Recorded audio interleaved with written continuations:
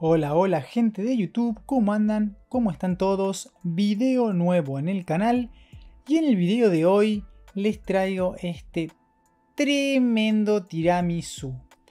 Muy pero muy fácil de hacer, pocos ingredientes también, es un postre que queda espectacular, muy pero muy rico, bien bien húmedo para acompañar con un cafecito en el postre a la hora que ustedes quieran, está tremendo. Hace rato que tenía ganas de hacerlo, así que hoy lo vamos a hacer. Así que manos a la obra. Para esta preparación vamos a necesitar primeramente vainillas, la marca de su preferencia.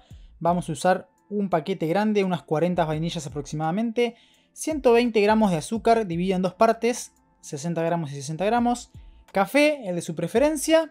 Queso mascarpone, 750 gramos. Y acá tengo 5 huevos que están separados. Las yemas por este lado y las claras por este lado. El primer paso en esta preparación va a ser batir las yemas con el azúcar. Yo en este caso voy a usar un batidor eléctrico, que es el batidor que tengo en la Pimer. Ustedes lo pueden batir a mano, no hay ningún tipo de problema. Les va a llevar solamente un poquito más de tiempo, pero el procedimiento es el mismo. Batimos un poquito para no salpicar todo y empezamos a batir. Tenemos que batir aproximadamente unos 4 o 5 minutos como mucho hasta que esto quede espumoso. Va a cambiar un poquito el color, va a quedar un poquito más claro y ya cuando notamos que cambió de color y tiene un poquito de espuma, ya va a estar lista esta primera parte de la preparación.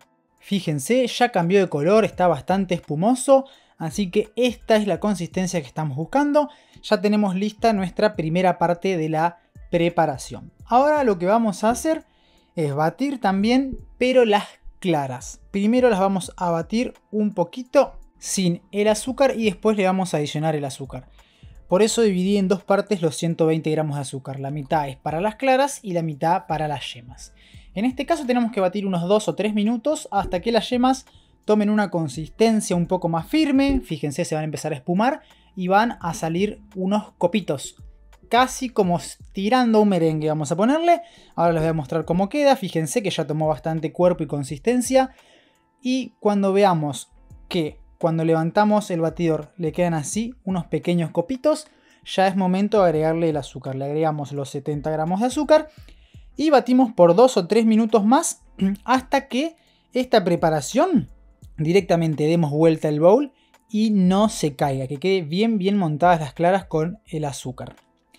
Y mientras voy batiendo le digo que no olviden de suscribirse al canal que subo videos todas las semanas, esta comunidad no para de crecer Así que quiero que sean parte, suscríbanse, dejen su me gusta, su comentario si quieren que suba algún otro video. Los voy a estar leyendo y desde ya se los súper agradezco. Una vez que pasaron estos minutitos, ya batimos, fíjense cómo queda. No se cae la preparación, quedó bien montada, se le forma un pico, fíjense en el batidor, un pico súper firme.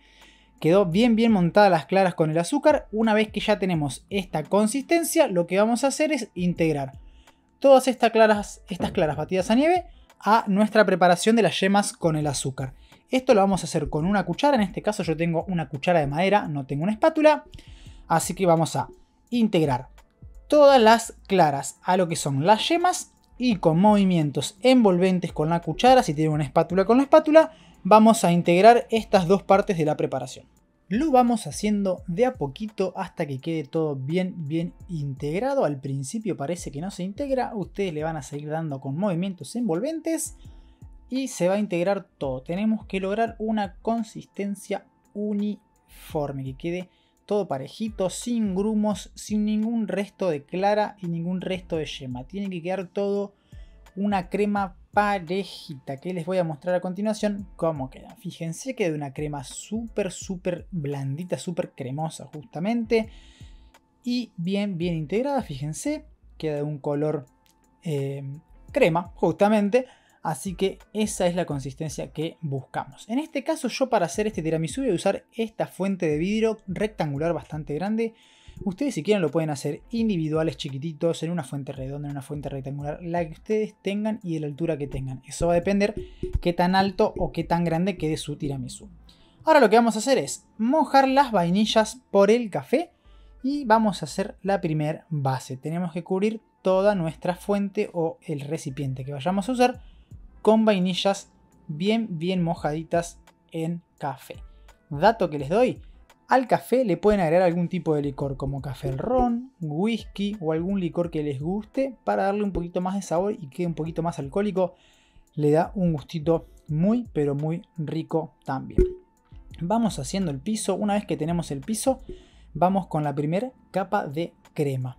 Contundente, sin, sin asco, le vamos a dar ahí una buena cantidad de crema y con la ayuda de una cuchara o de una espátula vamos a esparcir por todo nuestro molde y vamos a tener la primera capa de nuestro tiramisú. Es vainillas y crema. Ahora lo que vamos a hacer es repetir el procedimiento hasta quedarnos sin vainillas o sin crema básicamente o hasta llegar al tope del molde. Fíjense, ahí dice la primera capa. Ahora repetimos el procedimiento con las vainillas. Vamos a ir mojando una por una en café.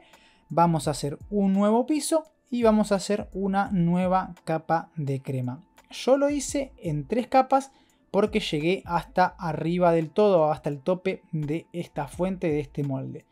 Ustedes le ponen la cantidad de capas que ustedes quieran, de últimas en más crema y pueden hacerlo mucho, mucho más alto si tienen un molde más alto. Yo en este caso hice tres capas nada más.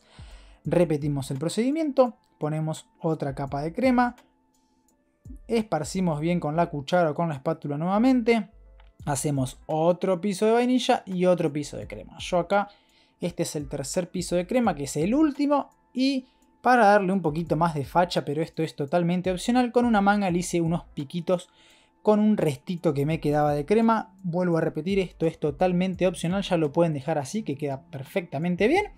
Pero bueno, me sobraba un poquito de crema que no la quería tirar, así que hice unos copitos como para darle un poco más de vista a este postre. Una vez que terminé de pasarle todos los copitos, el detalle final, que esto más que opcional es prácticamente obligatorio, es tamizarle por encima una buena cantidad de cacao amargo. Esto le va a dar un gustito espectacular y va a terminar de cerrar todos los sabores de este postre que la verdad queda increíble. Yo lo hice con este coladorcito que tengo, este mini tamiz.